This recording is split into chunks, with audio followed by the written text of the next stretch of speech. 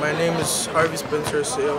I play for the Guayaquil Kings uh, Friendship Basketball. It was good. We played um, one game. We won the game, and I think we won the game because we got along with each other. We played good together.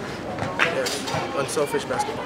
Um, it's a good competition because we meet other players and we get better together.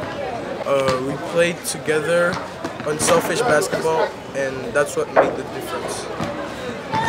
Okay.